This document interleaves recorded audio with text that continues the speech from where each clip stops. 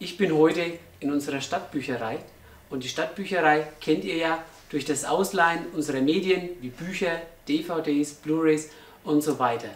Und damit wir für euch das Angebot erweitern können, haben wir nun für euch künftig die Bücherei der Dinge.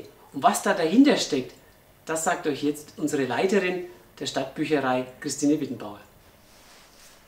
Viele Bücher gibt es bei uns in der Stadtbücherei zum Entleihen, aber die passenden Gegenstände? Hm, eigentlich nicht. Nun, das ändert sich aber. Wir haben jetzt verschiedene Gegenstände in der Bibliothek der Dinge, die wir zum Ausleihen anbieten. Äh, zum Beispiel können Sie mit unserer Nähmaschine die tollsten Modelle anfertigen. Oder Sie trainieren mit unserem Football für den nächsten Super Bowl oder Sie erkunden die Sterne mit unserem neuen Teleskop.